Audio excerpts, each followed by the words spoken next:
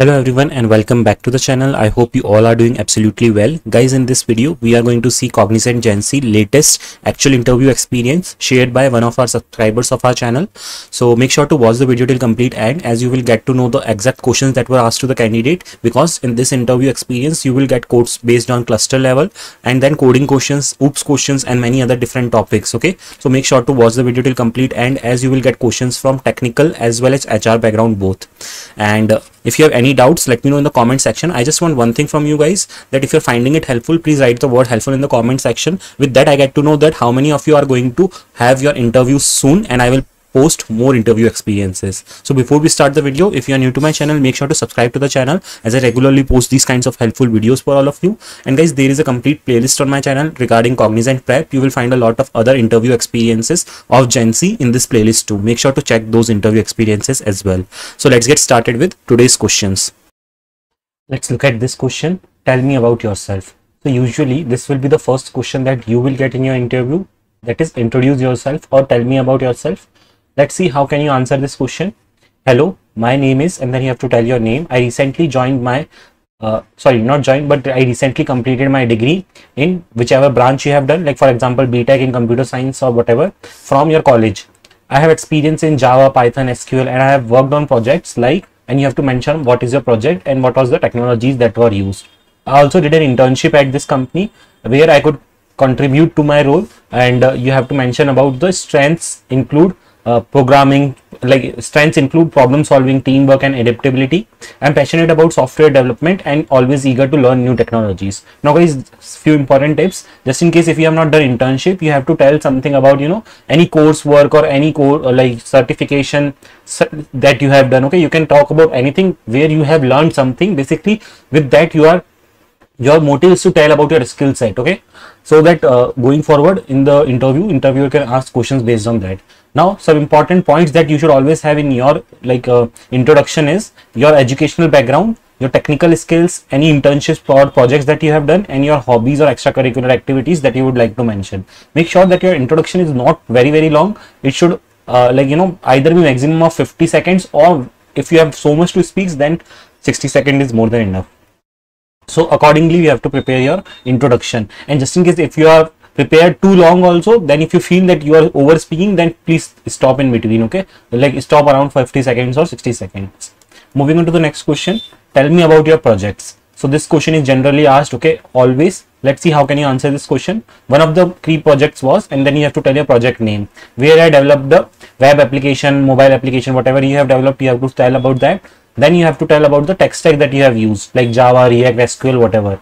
Okay now after that you have to tell the challenges that you have faced what are the unique feature that were there that was there in your project and then the future scope of your project that is there something some sort of improvement or a new feature addition is there in your project then you can mention about that. Okay?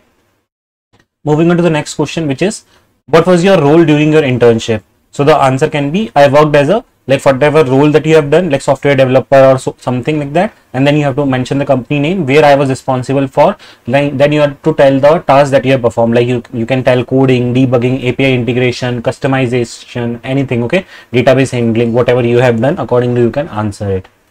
Moving on to the next question. Uh, uh, the next question is about oops. So what are the four main oops concepts? Let's see the answer for this question.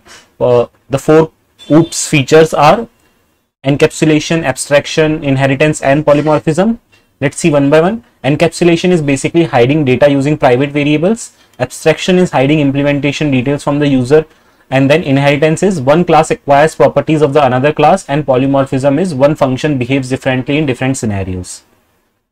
Let's move on to the next question which is the coding based question or uh, sometimes you know they ask a question orally and then they might ask you to like you know give an ex code example also so let's see the question.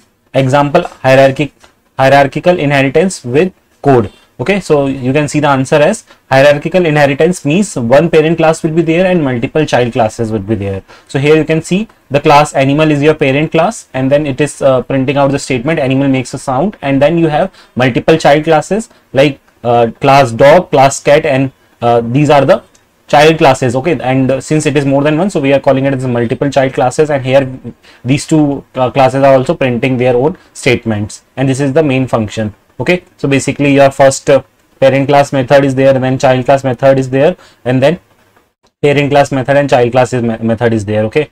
So in this way you, have, you can show them via a simple example okay code example. Moving on to the next question difference between package and module in java okay? The answer for this can be package is basically a collection of related classes and interfaces. Example is java.util module is basically a higher level grouping that contains multiple packages for dependency management okay? Moving on to the next question that we have difference between final and finally in java. So see final is used to declare constant private uh, sorry prevent inheritance or method overriding whereas finally is basically used for for a block in exception handling that always execute. Moving on.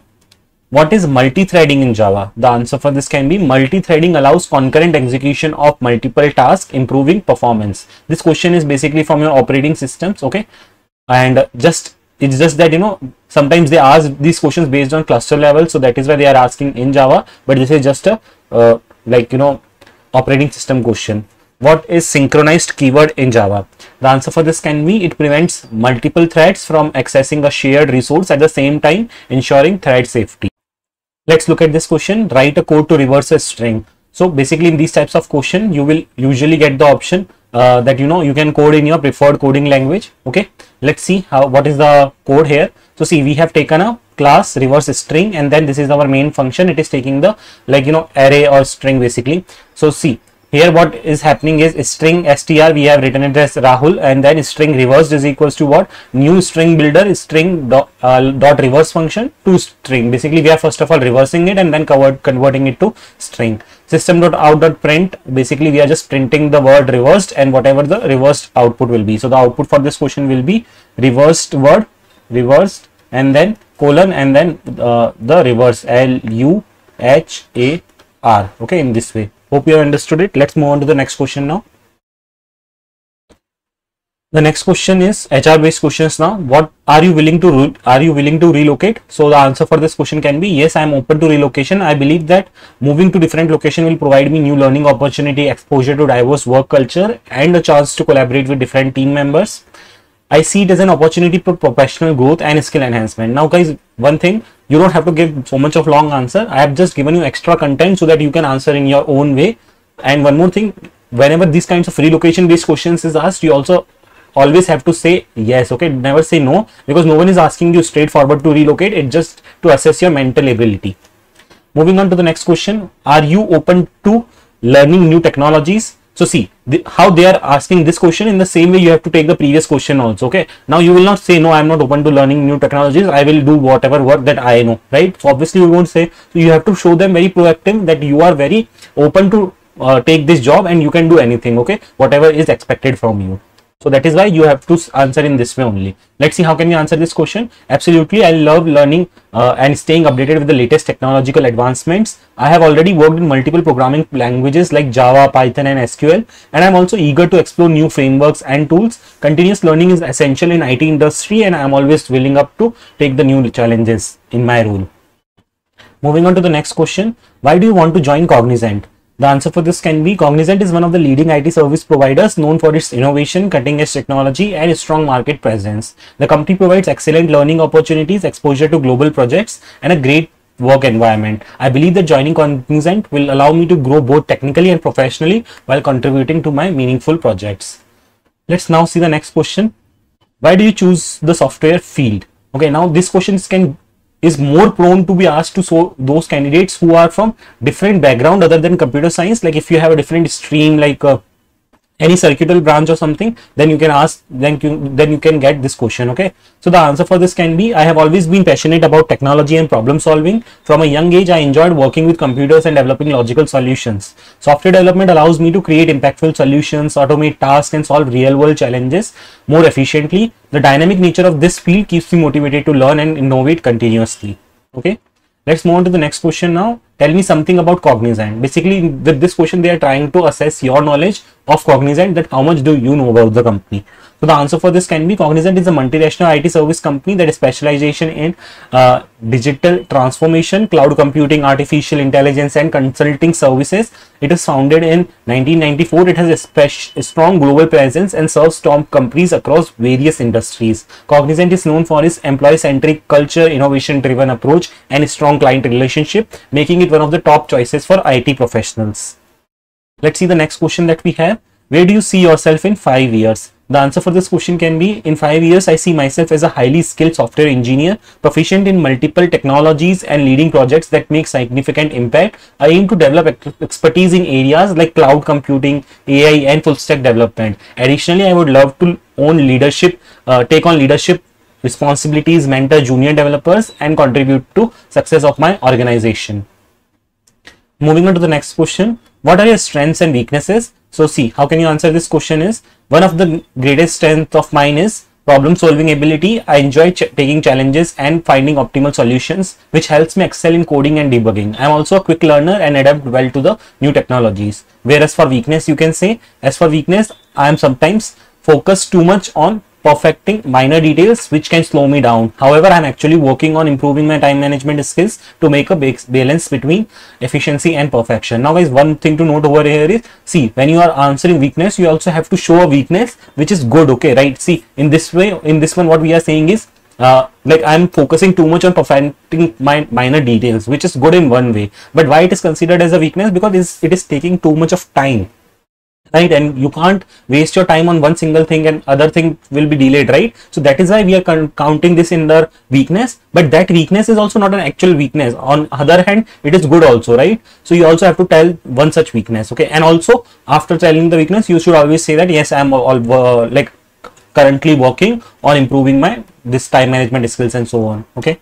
Moving on to the next question. What motivates you to work so the answer for this can be I am highly motivated by continuous learning and problem solving. I enjoy taking on challenges that push me to think critically and develop new solutions. Additionally, seeing the impact of my work, whether it is improving efficiency, creating user-friendly applications or contributing to a team's success, it keeps me motivated. So guys, that's all for today's video. I hope you found it helpful and if you do, please give it a like.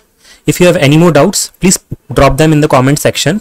You can also join me on Telegram and follow me on Instagram as well. You can ask your queries over Instagram DM too. Make sure to subscribe to the channel so that you don't miss on any of the important updates or notification whenever I upload a new video.